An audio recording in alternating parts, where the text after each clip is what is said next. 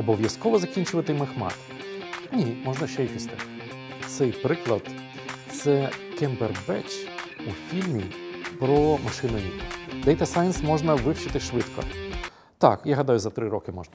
IT Wake Up. Час обирати свою it професію. Боїшся помилитися з вибором майбутньої професії? Приваблює сфера IT, але раптом це не твоє.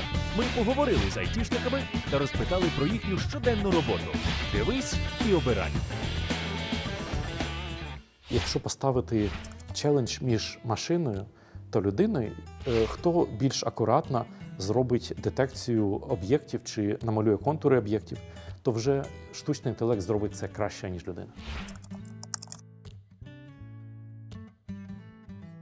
Це ті хлопці, які забезпечують дані для їх подальшої обробки, прогнозування. Ви ж не можете зробити певний прогноз без цих даних. Ось ці Data Science інженери і готують вам дані, дані із певних, ми їх називаємо raw data, чи брудні дані, які треба очистити, згрупувати, прос- просумувати і далі е, подати їх на вхід певного алгоритму. Machine Learning інженер це той, хто, як правило, застосовує алгоритми. А Data Science той, хто забезпечує дані. Тобто, щоб забезпечити дані, може і не важливо мати якийсь певний алгоритм у своєму арсеналі. Можливо, треба більше знати, як бази даних чи технології е, Data Warehouse. А ось для Machine Learning інженеру ось тут треба знати вже алгоритми.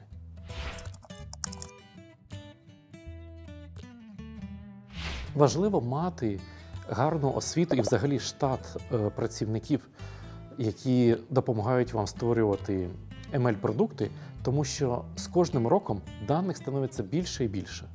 Тож, якщо ви використовуєте ці дані, ви далі ваш бізнес рухаєте до більш успішного, більш привабливого. Тому і ва- важливо мати е, освіту і спеціалізацію обробку даних. І не лише обробку, а й далі алгоритмику і machine learning, як от кажуть, on top of this data.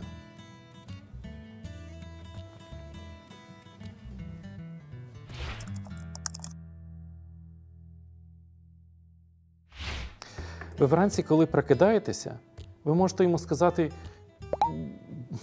дай мені ще 5 хвилин, чи дайте 10 хвилин. Я б, можливо, придумав алгоритм, який би зробив цей будинок більш відповідальним за сон е, свого власника. І за допомогою голосової команди дав би можливість чи ще поспати, чи встати із кровати і вимкнути його. Тож застосування певних голосових технологій, які розуміють голос і розуміють інтонації, чи може навіть емоцію. Таких систем ще немає, які розуміють емоцію. Я гадаю, через кілька років вони з'являться. Е, От таку технологію я би сюди використав.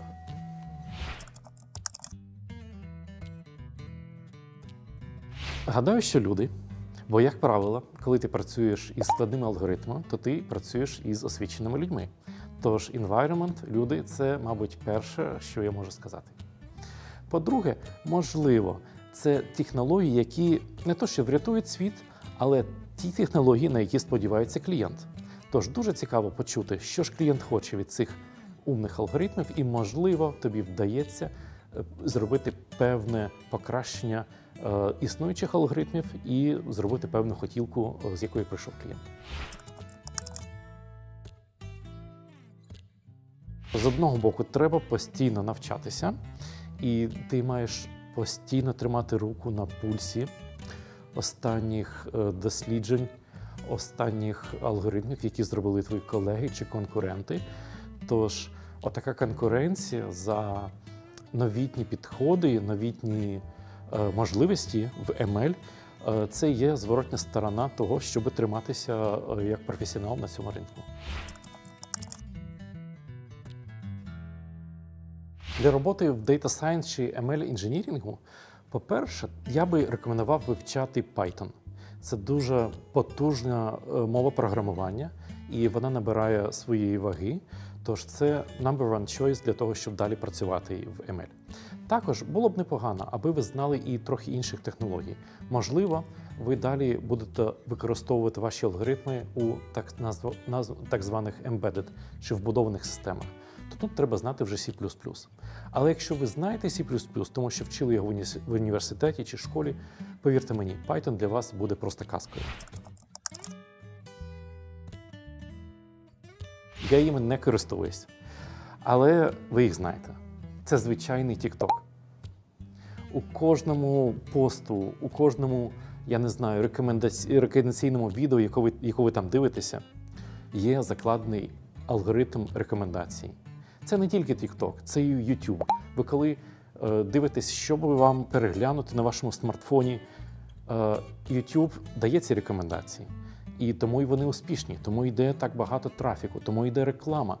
Ось і повертаємося до думки, що успішні продукти вони використовують бігдату. Цих проєктів, які використовують технології для певних фанових продуктів, е, їх вистачає. Е, Починаючи із е, застосунків, коли ми міняємо своє обличчя, як Reface ID чи MyHeritage, коли ви маєте можливість оживити е, певного свого родича і побачити, як би він виглядав, якби ви зробили живий портрет, ровно як е, у фільмі про Гаррі Поттера.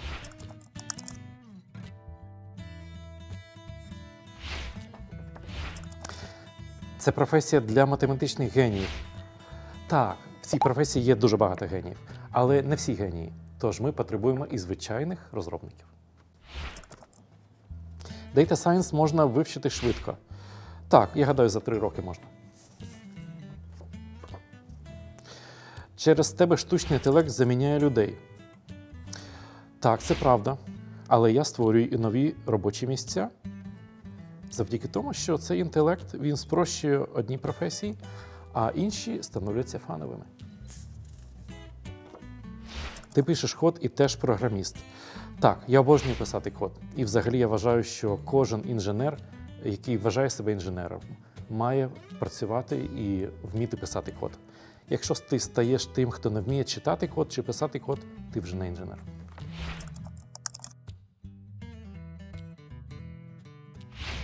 По-перше, я би рекомендував іти вчитися у топовий вуз. Це найкращий environment, щоб ви і працювали з сильними конкурентами, і здобували сильні знання, і далі мали б шанс отримати гарну роботу. Бо саме топові вузи і співпрацюють з топовими компаніями. Тож топовий вуз це number one choice. Беруть іще під час універу. Так. Щоб ви знали, на факультеті кібернетики тут в Києві е, компанії, які входять в топ-10, вони хантять студентів вже на третьому-четвертому курсі. Коли я там викладаю і хочу провести заняття, то в мене немає половини групи. Де вони? А вони на стажуванні.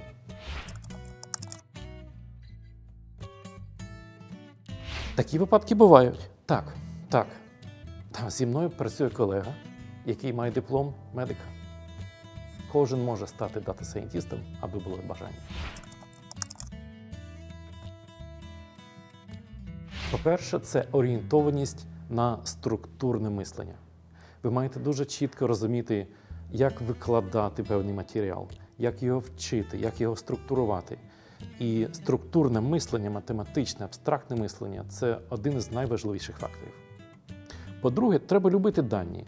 Треба любити коперсатися в цих даних. Комусь може цікаво, я не знаю, просто програмувати, просто програмувати якусь логіку. А хтось любить знаходити певні закономірності, аномалії, певні залежності між даними. І от цей навичок він і відрізняє саме ML-щика, дейта сайентіста від звичайного інженера. Як зрозуміти, що Data Science – це для тебе? Якщо ти любиш знаходити певні тренди між даних, аномалії чи робити прогноз, можливо, вам цікаво виграти мільйон доларів в Вільям Хілі. Збудуйте цей алгоритм. Якщо вам вдасться хоча б не програти забагацько, ідіть далі і розробляйте далі ці алгоритми.